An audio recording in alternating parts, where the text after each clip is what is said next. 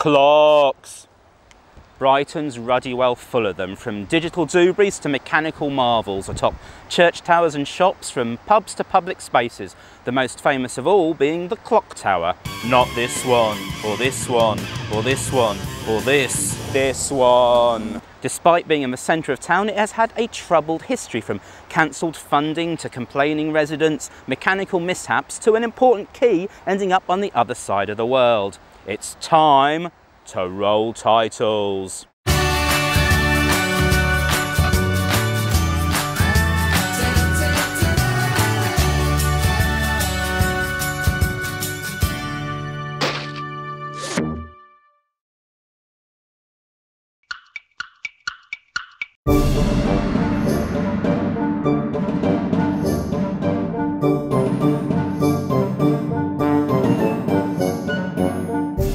Competition was held in 1881 to design a clock tower for Brighton. Henry Branch and Thomas Simpson, the architect behind most of Brighton and Hove's schools of that era, won, but their joy was short-lived.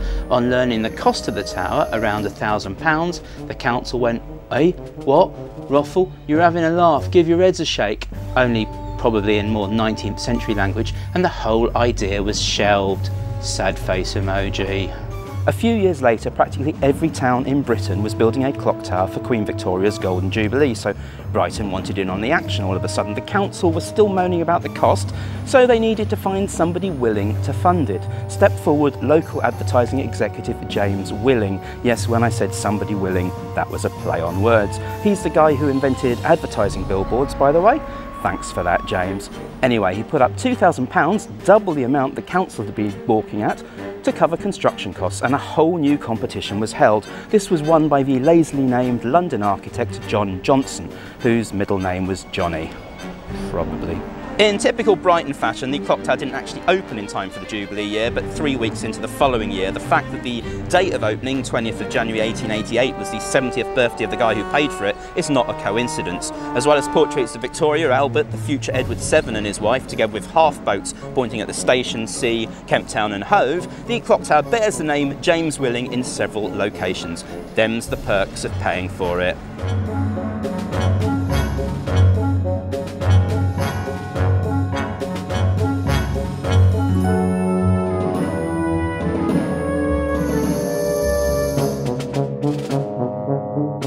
thank you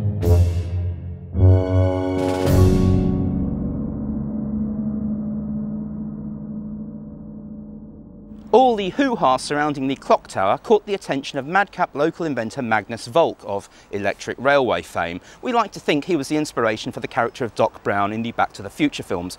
Old Magnus wanted in on the action, so he designed an electric time ball to sit on a pole atop the tower. It would slowly rise up and then drop down on the hour like some tiny golden forerunner of the i360.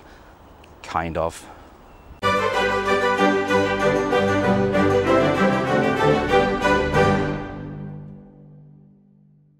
Even in the days before loud nightclubs and live music venues, the residents of central Brighton liked to complain about noise and moaning about the sound of the time ball mechanism caused it to be switched off a few years after opening. Some say it was scaring horses, others say it was causing vibrations that were damaging the tower. It was not until a refurbishment in 2002 that it was back in action, promptly conking out seven years later. A further refurbishment for the clock tower's 125th anniversary, 2013, saw it back in action. It's rumoured to still be working these days, but not all of the time. Fun quiz. Where in Brighton and Hove are these 10 clocks?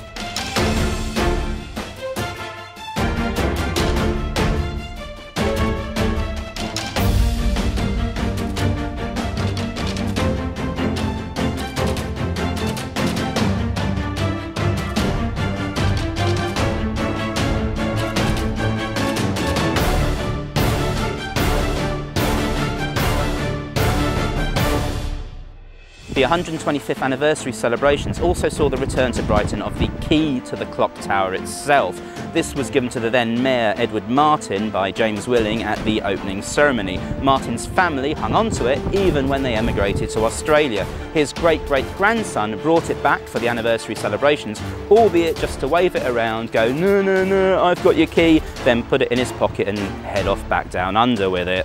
Happily, in 2016, he returned to Brighton and gifted the key, which opens this little door under Prince Albert's portrait, to the city. With the key safely returned, the tower now surrounded by some quite ugly street furniture and horrendous traffic, it goes from strength to strength. It's amazing to think that several local councillors, particularly in the 1960s and 70s, wanted to see it demolished. There are few better places in Brighton to settle down with a bottle of cider and growl at language students. Yay, Clock Tower! Whether you're a Brexit bunny or Ronnie Remain, tune in next week as Fact Me Up unravels the links between Brighton and the European Onion.